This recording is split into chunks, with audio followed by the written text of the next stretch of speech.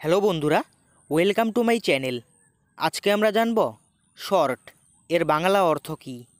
বা শর্ট, এই শব্দটির বাংলা মানে কি?